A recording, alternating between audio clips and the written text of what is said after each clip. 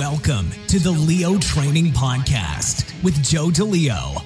You'll hear in depth interviews and tips from world class athletes, coaches, and industry leading experts to help you train smarter and improve at what you love to do. Train smarter, get stronger, move better, race faster. Here's your host, Joe DeLeo.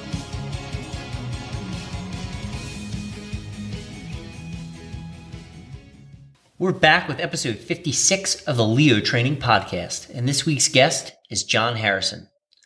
John Harrison is a Strong First Level 1 kettlebell instructor and a licensed massage therapist. John has an incredible story to share with the strength and conditioning and Strong First community.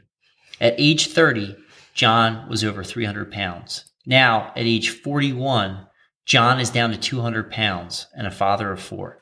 John shares how the kettlebell the mace, sandbag, and other unconventional training methods helped him reach this goal. Without further ado, we'll roll to episode 56 with John Harrison. John Harrison, welcome to the Leo Training Podcast. Thank you so much for taking the time to come on to the show. I'm really looking forward to sitting down and chatting with you this evening. Yeah, thanks a lot, Joe. It's a real honor to be here and be sharing some uh, listening space with a uh, pretty cool audience, it sounds like. So yeah, thank you, my friend. Yeah, it's uh, it's going to be a, a good uh, chat we got going on here. We got some some really good material to uh, to share with the audience. Uh, you've got a really awesome story um, and one that's uh, pretty transformative. Uh, so with that, I will kind of turn the mic over to you and let you uh, prep the audience and, and, give them your background and your journey. Okay, very good.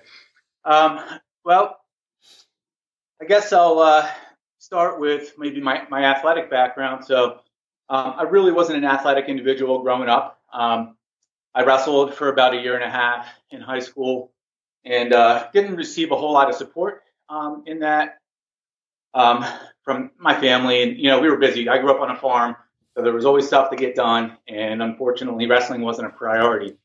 Um, fell out of that, started running around and acting crazy like a teenager and, and, and partying. And over the years, um, gained a significant amount of weight. And um, by the age of 30, I was 300 pounds. Um, I'm 41 now, and I'm 200 pounds. I stepped on the scale this morning. Um, That's so, awesome, man. Congrats. Congrats. That's outstanding. Thank you. Um, you know, my, my, uh, my weight gain wasn't only food related. Um, there were some other uh, demons involved with that as well. I was uh, bouncing, bartending, running wild. So I don't have to go into the gory details. I'm sure the audience can draw their conclusions as to what my lifestyle may have been like back then. And so um, I had a had a child, and um, that really changed things for me. When my daughter was born, that was a big wake up call. Um, and uh, really redirected my life. Um, I believe she was an answer to prayer, and uh, maybe maybe not mine, um, but someone. um, so um, yeah, when my child was born, that really uh, made me change my focus. And um, one of the things that I, I, went back to was was was exercising and fitness. Just remembering back to when I was a wrestler in high school. Um, and just how that made me felt, feel, and you know the, the the rush that you got from it and everything. I started going back to the gym and really trying to take care of my body. Also trying to get my mind right and, and, and be the father that I needed to be for my child. So that was my first motivator was being responsible for another life. Um, yeah, so um, my weight fluctuated up and down over the years. My daughter was born at um, 20, I was 26 when she was born. Um, I met my wife, so she's from a previous relationship. I met my wife when I was 27, my current wife. And um, of course, when I met her, her mom decided to load up the house with all the favorite goodies that she knew that I liked and fatten me up. So I actually went from when I met my wife, I was down to about 230 um, to three, back up to 300. And uh, at 30 years old, I was down on the floor with my two year old daughter, busted my pants wide open, size 38 inch jeans, and said, All right, man, I'm done. I'm done. So then, yeah, I started back on the conventional training, um, you know, elliptical machines, treadmills, jogging, you know, reading Flex and Bodybuilder magazines, trying to get ideas, Men's Health magazine, and um, just kind of following the conventional wisdom that was out there, and had pretty good success. I, I dropped about 60 pounds um, utilizing those methods. Um, but still, at 240 pounds and five foot 10, uh, my body fat percentage was close to 30%, and it wasn't a healthy place to be. But I was stuck. And so, um, after just kind of running into walls time after time, I just did like a Google search one day for unconventional methods, unconventional exercise methods. I was just kind of like at my wit's end and was opened up to like this world of kettlebells and sandbags and guys making homemade equipment in their backyard and pulling sleds and like um, Zach Even-Esh from the Underground Strength Gym down in Jersey, Travis Stoetzel, some of the guys early back in the day, the early um, garage gym guys on YouTube, you know, really were huge inspirations to me. So I started doing all this stuff in my backyard. Went out and picked up a kettlebell. Now at the time I was pretty strong, good for pressing about a 70 pound dumbbell. So I went out and picked up a 65 pound kettlebell, thinking that would be a good place to start. And boy, I was humbled. I was humbled. Um, within a week, I ended up with the chiropractor. Um, of course, I was just trying to emulate what I had seen other people doing on YouTube with the kettlebells with no proper coaching. Uh, so I ended up at the chiropractor, tweaked my back pretty bad, trying to do a side bent press. And um, that motivated me to seek out some professional training. I knew I was onto something with the kettlebells, though, just by um, in that short amount of time, the difficulty of the movements, the difficulty of the exercises, it just made me made me want to chase it even more. Sure. Um, so the, a local gentleman um, here in North Wales, Pennsylvania, about it's a suburb of Philadelphia, by the name of Andre Patenko, um, who's with the RKC, and uh, it's a hand-to-hand KGB combat instructor, Systema instructor, you know, pretty hardcore dude. And uh, I went down and trained with Andre for about 10 weeks. And uh, he prepared me for my HKC. Nice. So that was that was in 2004. No, no, no. I'm sorry. Wow. Um, no, no, no. That was in 2009. I went for my HKC, and uh, the HKC was great. Right, gave me a base understanding of kettlebells, Turkish get up, goblet squat, and really how to get very efficient and um, just understand the basic movements, kettlebell, you know, and spent a lot of time just practicing and mastering those movements. And then, of course, I started teaching um, out of my little studio here. Um, and so that pushed me into the FMS. Um, I started, of course, through the RKC um, and the HKC. Um, received a lot of information periodically from FMS and uh, Phil Scarito, who's a, a, master SFG and puts on a lot of stuff here in Pennsylvania, um, had hosted a FMS workshop in Plymouth meeting uh, with Brett Jones. And so I went awesome. down and yeah, spent three days with uh, Brett Jones and, and Phil Scarito and just had an awesome time. And, and for me, that was, I think, what had, um, that was like the tipping point for me to say, okay, this is something that I want to pursue full time uh, as a career and try to make a living out of helping people move better and feel better. Um, the FMS was a big eye opener for me, just in understanding movement and analyzing movement and how to fix movement. And not that we've got all the answers, um, but man, what a great, great uh, resource that became for me. And now the FMS then pushed me into massage therapy. Uh, so it was kind of a natural progression, you know once I started analyzing movement and realized these people have movement restrictions, most of them were soft tissue related, instead of referring them out to a local bodywork practitioner, I'm like, why can't I just keep the business in house sure. and go and license as a massage therapist myself? So I spent 18 months training at the Pennsylvania Institute of Massage Therapy, uh, became a state licensed massage therapist in 2011, and have been practicing part time. Um, I do travel on the road. Um, I, that's the bulk of what I do is I'll go see people in home, um, massage training, and you know whatever uh, whatever suits their needs. Um, so some clients I'm just seeing for massage therapy and body work. Some are utilizing all my services, kettlebell, sandbags, and the mace is new. We didn't even touch on the mace, but Nice. um, yeah. Um, so that's kind of my my progression. And uh, so, so what were? Could you just touch on what you were doing professionally before you started? You know, doing Yeah. uh, massage therapy and training full time. Absolutely. Yeah, thanks for reminding me about that. Um, so, uh, up until about two years ago, uh, I worked um, eight years in the local healthcare industry here in out at Allentown, Pennsylvania, Hospital and Health Net, as a respiratory therapy technician and orthotic fitter.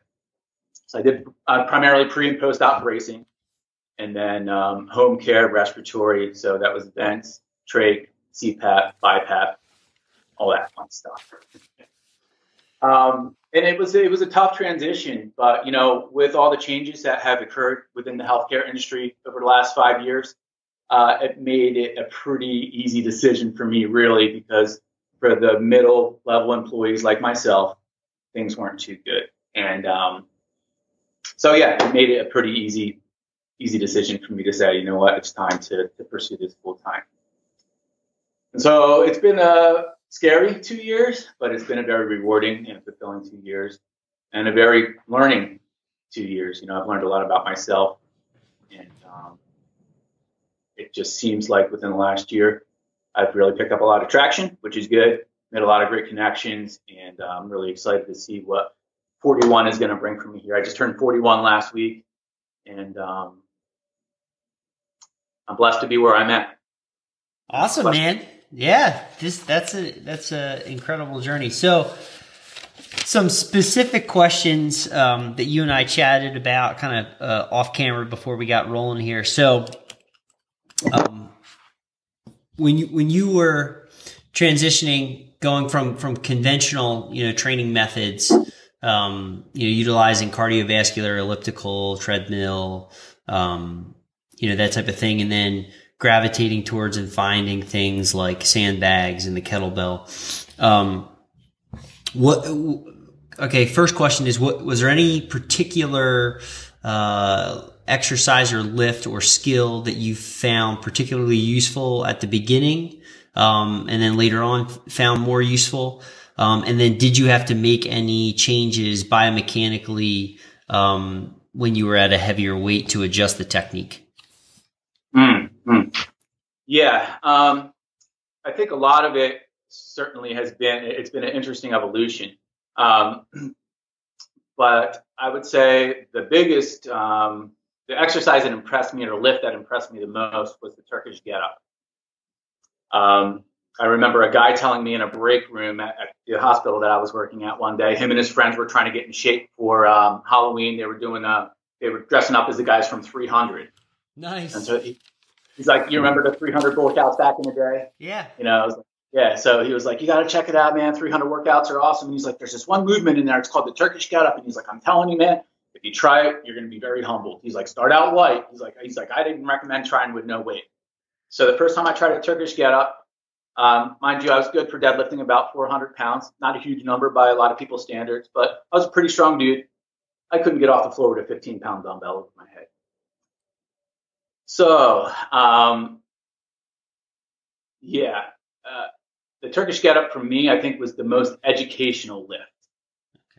Um, because it taught me a lot about myself and how to move and how to move within a certain amount of space. Yeah.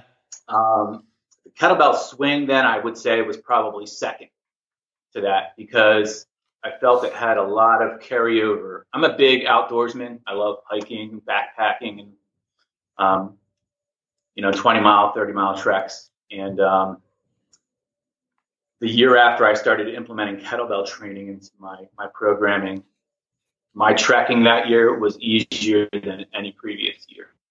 Awesome.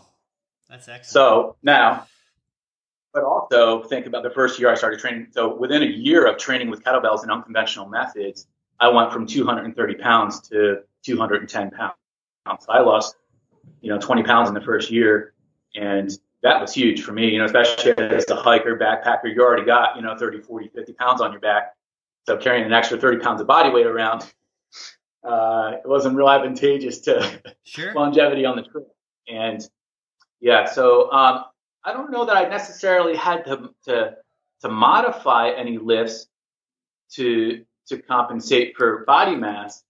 Um, but as my body mass decreased, my list became more efficient. Okay.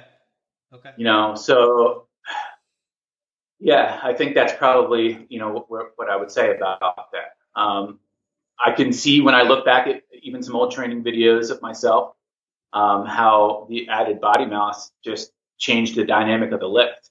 Right. You know, Absolutely. and Absolutely. fortunately, I think I had a good amount of structural integrity there already from you know previous weight and strength training that I had done, to where it wasn't dangerous for me. Where I don't know if maybe somebody that didn't have that structural integrity there would have the same success. Right. Right. Yeah. Now, um, would you make any recommendations, like, uh, or or insight, like if if somebody is heavier and overweight, um, like you know, tr- like if they're going from the deadlift to the swing, right? Um, even just the the hike phase can be a little bit difficult uh, for some people due to due to body mass. Um, you know, is there anything that you may recommend for them to like you know adjust the technique? Yeah, I mean, for me, you know, the towel method always seemed to just lend itself to, you Yeah. know, a little more, um, a little more room, you know, creating a little bit more space, and um, and then just practicing the hinge, you know. So practicing the hinge, you know, the FMS teaches um, the hinge using the dowel, you know, maintaining those three points of contact, um, practicing that movement pattern is really what I reinforce with, you know, clients that might have that, because I think the more that we can reinforce that, more natural it's going to come to them when when they go to pick pick up the kettlebell and, and do swings. Awesome. That's awesome. So that's kind of my go-to, like you know, um, methodology for for teaching. Excellent. Now, um, you've also recently, uh, or before we transition, is there anything else that you want to touch on, uh, like key key points or any takeaways you think may be important um, if somebody is interested in learning kettlebells um, and is is overweight? Uh, yeah, I mean, I think seeking out an FMS first would be advantageous, or a lot of these guys now have dual certifications, right? So, so finding somebody that understands movement first is really important.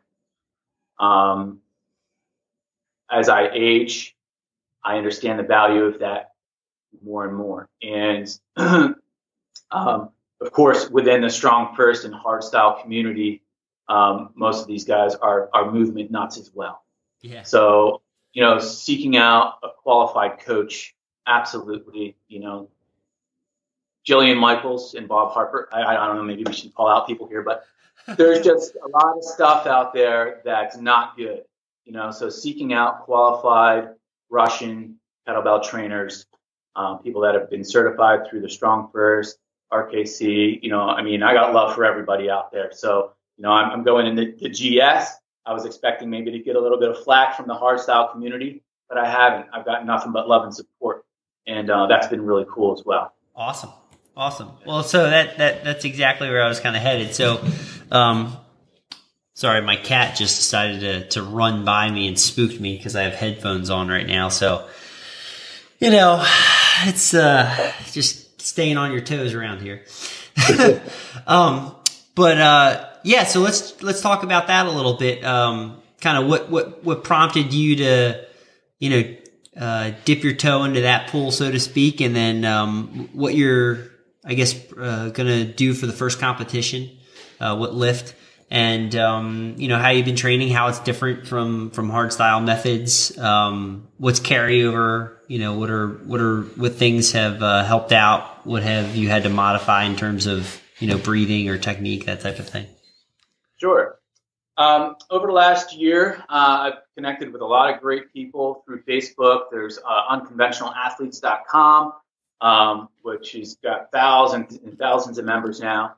Um, but I met a lot of really good people through that. Rik Brown, Mr. Mace Man, Rik Brown, uh, Valerie Pawlowski, who's uh, my coach, a three-time gold medalist, female champion, 53 years old, and just a machine.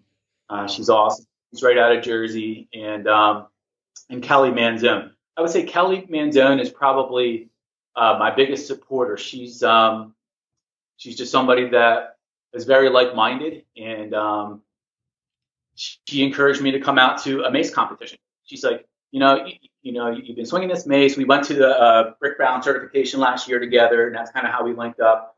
And she's like, you know, you, you got to get up there on the platform. So uh, about a month ago, I went over to Jersey, um, down to Freehold, and they were holding a, a, a vintage strength games there.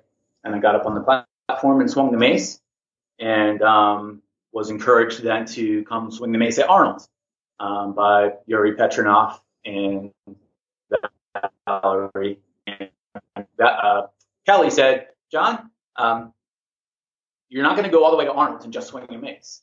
She's like, if you're going to go to the Arnold's, you got to compete in GS. Nice. And so I went home, thought about it, talked to my wife, and she gave me a 100% support and um, decided to reach out then to my now current coach and um, inquire about training. So I'm really fortunate to have a coach um, as qualified and as decorated as Valerie within a, an hour's drive from me. And um, I, think it's pretty cool how it all worked out. Uh, yeah, so the, um, the, the, I would say being rooted in, in hard style, um, there's definitely a lot of, I think, advantages. Um, it, uh, one being just uh, talking about structural integrity earlier. Um, I feel like my, um, you know, the attention to the hip drive that the hard teaches has just made the transition into the snatch, which is my lift that I'll be competing in, um, very smooth. Uh, when I went down and saw my coach for the first time, not to say that I went down there and nailed it, um, but it was a very good first session.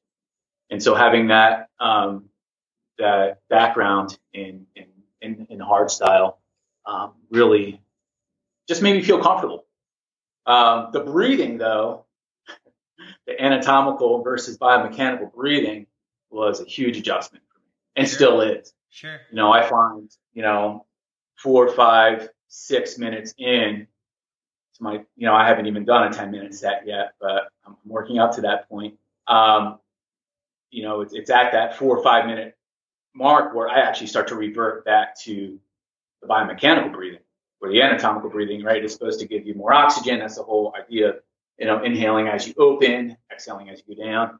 Right. Um, so it's, I'm still learning, you know, I'm still learning with that, but I do see uh, my work capacity increasing, which is good. And of course, when you snatch a lot, you tend to get lean.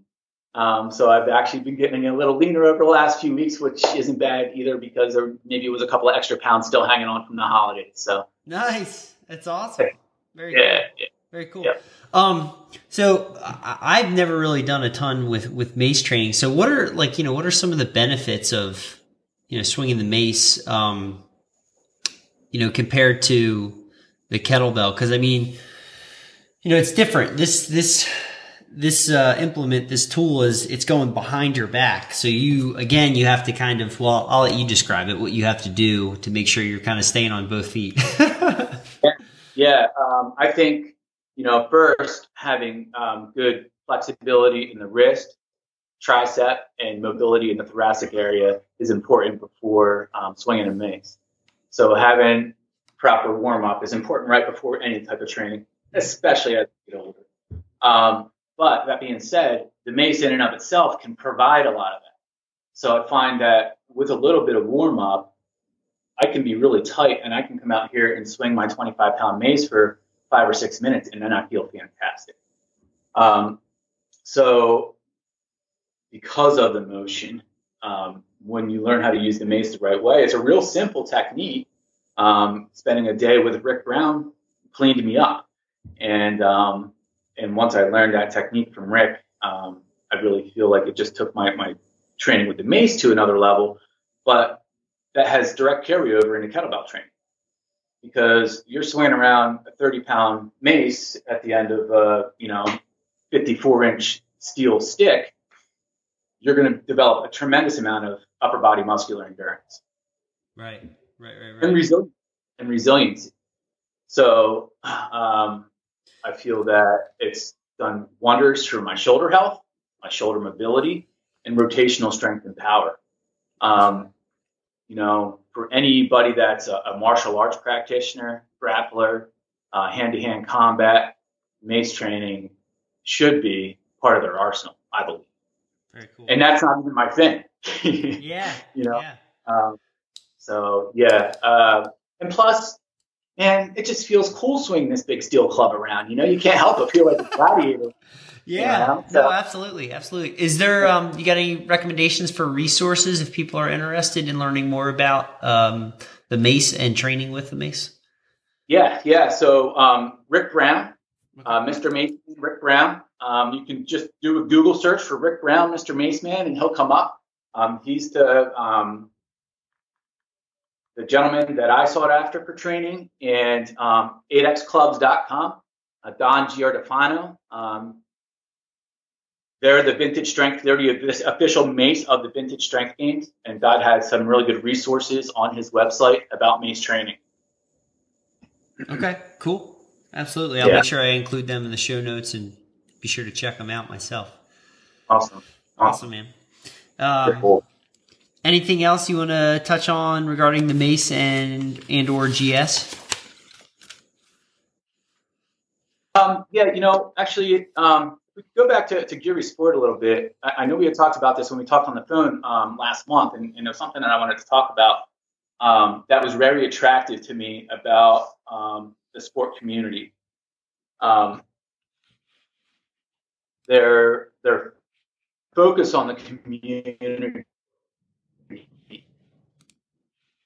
Um, and when I walked through the doors there, they had people from all walks of life up there on the platform competing um, they weren't all what maybe a lot of the public would perceive as athletes. Mm-hmm. And to me, that just tugged on my heartstrings because, um, well, first of all, knowing what the kettlebell has done for me in my health, um, getting young, giving maybe young men um, that are a little misguided some direction um, utilizing our gifts and our passions to help the community um, is really, really important. It's important to me. It's always been important to me. And when I saw that kind of almost at the center to me, that's the vision that I got when I walked in and saw what was going on there. Right. So I just wanted to kind of put that out there. Um, what I see is a lot of love. Yeah, it's a business for sure. You know, it's a competition, whatever. But there was a lot of love and a great, strong sense of community, camaraderie, and sportsmanship. It was just something I'd never experienced before. So it was pretty, pretty cool to be a part of. Look forward to, to growing, hopefully growing with it. Awesome. Yeah, that's outstanding to hear. That's that's a really, I think, integral integral piece of um, you know any community or team for it to be successful is that uh, chemistry and that camaraderie and that's yeah. really that's really what helps things grow. To be honest, um, yeah. you know that's what that's what makes a big big difference, uh, and that's what keeps you know not only growing but people the same people coming back. You know, yeah. Uh, it's that environment you create, and that's that's what makes things special. That's um, you know, my opinion. I think that's one of the special things about Strong First is that is not only the principles but the people. Um, yeah. I think the the people are phenomenal, and and uh, the same can be said for for some of the people that you've uh, mentioned and connected with. And so that's that's one of the the best part or best elements of of doing this kind of thing is is connecting with people and getting the message out there and sharing it. So that's awesome. That's really cool. That's right. And I think especially since unconventional training is still really I think in its infancy. You know, I think CrossFit's done a great job of exposing people to it. Um, you know, but I think the unconventional training, like like you you and I understand it, and maybe the hard style community understands it, I think is a little different. And it's exciting to be uh, what I feel on the on the edge of a tipping point. point, and I think it's about to spill over into the community yet on a large scale. And I plan on bringing it to, to where I'm at in this community here. So very cool, excellent. Yeah. Um, and then so uh, let we'll transition to a different different topic, but um, you know, with your massage therapy skills, why don't you talk a little bit about how that you uh, take that knowledge and that skill set and integrate that into a, a, training session for, for your clients that's that's pretty uh, unique from what you were telling me. Yeah, yeah. Um, really, the um, you know the FMS has become my go-to um, screening tool for any new client, whether they come to me for training, massage, or both, uh, because it really gives a good indicator as to the person's movement ability and capacity. Um, and then understanding now as a massage therapist, fascial lines, fascial restrictions, and, you know, incorporating the FMS and understanding then the movement and how the body's supposed to look in movement, um, I feel just gives me a, a greater sense of, of what to look for when I have somebody crawling on the floor in my studio. Um, and then having the ability to stop the person and say, you know what, it looks like you've got something going on in your adductors. You've got this major restriction. Your knee keeps pulling in, or you know you've got um, some restriction in your ankle. Your ankles are locked up. You know, before FMS, before massage therapy, I don't know that I would have realized that. Right. You know, so um, and then being able to stop and fix it being able to stop and then put them on my table and say, here, let's work that out, let's fix that, and, and generally get some restored movement. Um,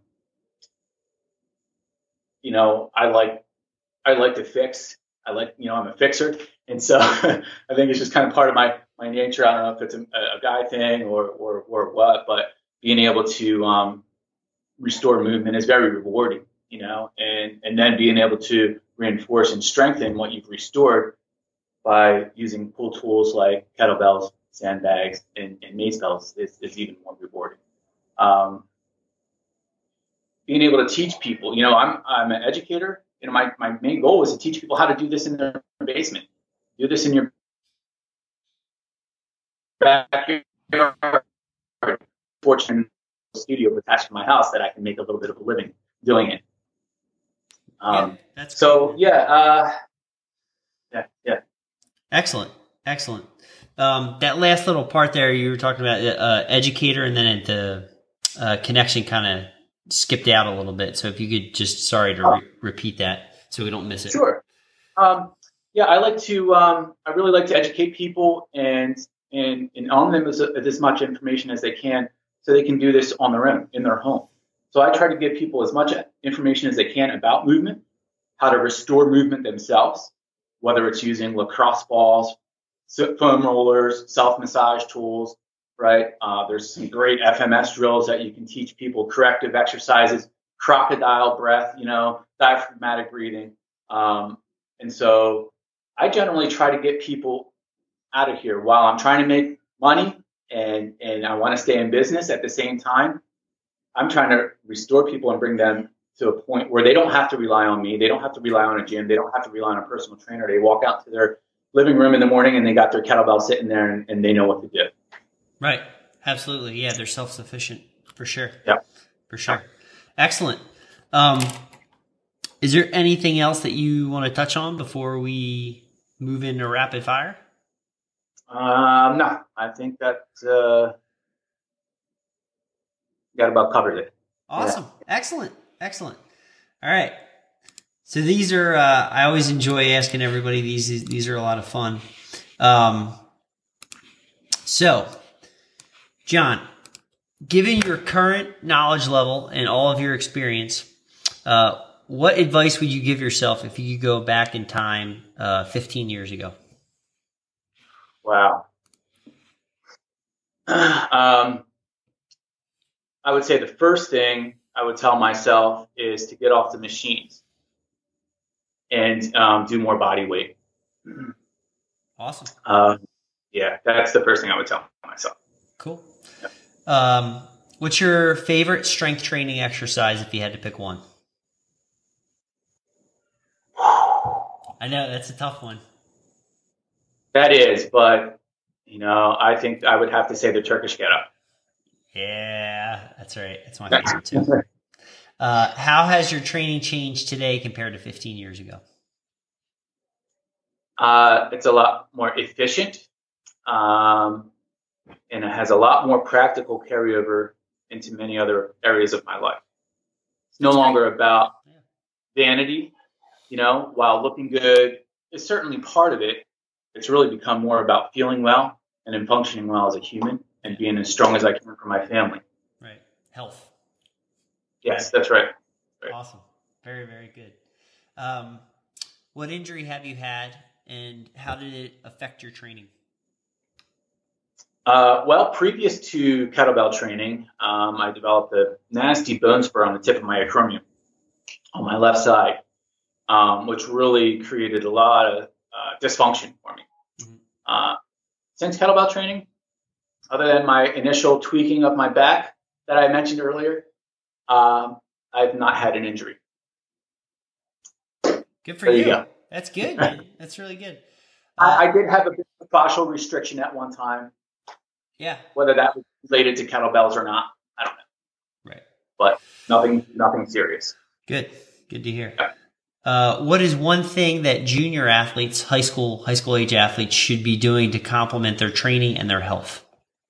Mm, mm. Um, you know, you see a lot of these these guys going to burn out and max out, and I understand that as a young man. You know, you get that ego and that testosterone going when you're in the gym with your buddies. Um, and not to say that there's not times when we shouldn't push ourselves to that point, but I see a lot of guys pushing themselves to that point too often. And um, of course, being an orthopedic fitter and bracer, doing pre and post op ACL and MCL surgeries, a lot of what I saw were, were young athletes. So it's very obvious and evident to me that there's a lot of overtraining going on. Mm-hmm. Um, I think integrating more mobility, um, kettlebell swings, and Turkish get-ups would pay any athlete huge dividends if they took it seriously. Yeah, absolutely, absolutely. Yeah, the, uh, it's amazing how many high school athletes I see, and in general, pretty much everyone just does not have the ability or lacks the awareness to move through their hips. Yeah. Yeah. yeah. And, and, and I'm not saying like I'm picking on those people because I, I was that person too, you know, five, yeah. six years ago, but, but you're yeah. more aware of it when you have the ability to do it and, and looking back. And so you, you can see it so much more clearly now. Yeah. Yeah. Yeah. Yeah. It's pretty awesome. Yeah. Uh, what's your best tip to improve recovery? Sleep and hydration. Awesome. Sleep and hydration. That's right, baby. Love those Z's. uh, what's your favorite meal? Oh, uh, curry. I'm a coconut curry guy. I love love my Indian food and that Thai in Thai food. So yeah, I'm a, I'm a big curry fan. That's probably my go-to. Excellent. You might not want to be training with me the next day after that. That's all right, man. I like spicy food too. Curry's good. Um, what's one book everyone should read? Hmm. Boy.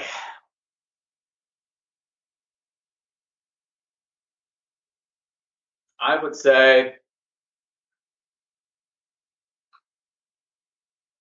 probably for me, the biggest influence for um, my own training was athletic body in balance.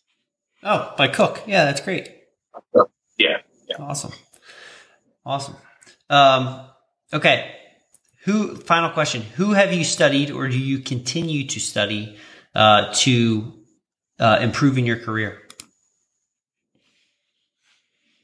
Hmm.